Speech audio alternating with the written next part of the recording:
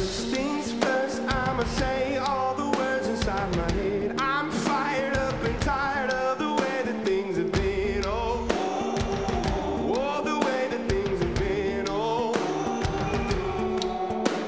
now second things second.